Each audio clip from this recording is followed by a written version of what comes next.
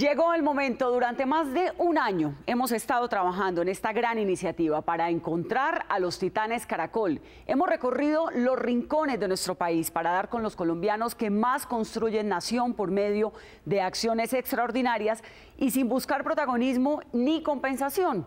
A partir de hoy, aquí en Noticias Caracol, en nuestras ediciones diarias, presentaremos sus historias para que ustedes los elijan, votando por medio de nuestra página www.titanescaracol.com.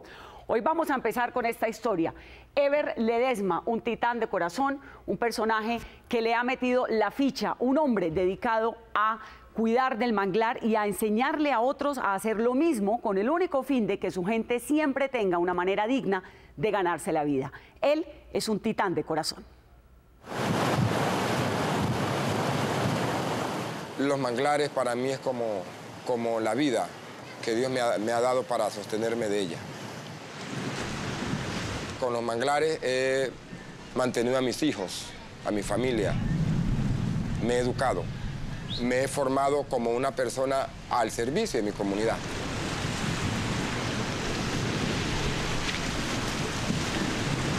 Mi nombre es Eber Ledesma Caicedo y yo me dedico a conservar el manglar. Siembro y descontamino los manglares.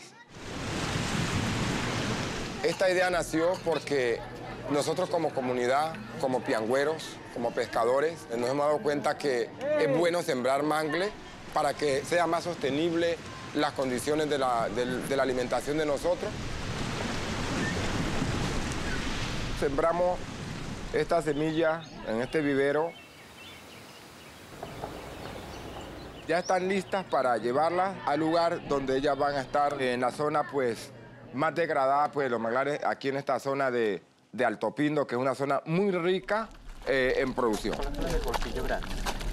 También recolectamos la basura de los manglares porque eh, es un perjuicio para todo el medio ambiente si no la recolectamos. En la época de mis antepasados no había esa cantidad de basura, no había la cantidad de contaminación que tenemos en el momento. Si nosotros como personas no limpiamos los manglares, estamos perdiendo lo que es la parte ambiental. En los manglares se reproducen los cangrejos, las jaivas, los caracoles, las pianguas. Y por eso yo estoy participando en la limpieza de los manglares y en la conservación de los manglares. ¿Sí estamos de acuerdo a conservar el medio ambiente? Uno de los programas importantes que tenemos nosotros eh, en la comunidad es el conocimiento, la educación de cómo conservar mejor nuestro medio. ¿Qué hemos de hacer? ¿Recolectar qué? Lo ha enseñado cómo recolectar los residuos sólidos y cómo sembrar el manglar. Yo no lo sabía y aunque eh, soy piangüera, conchaba en ello, pero no sabía cómo se llamaban todos los manglares. Vamos también a recolectar las semillas que han brotado de, de los árboles y hacer también la siembra. Aprender algo de ahí para el día de mañana ser un niño muy educado. Aunque yo también voy para el manglar, para así mismo ayudar a mi mamá y a mi familia. Don Eve me ha enseñado para que no temos la basura en el agua. Es lo que él está haciendo para recuperar nuestros manglares para que mañana nuestros hijos tengan un pan de qué coger.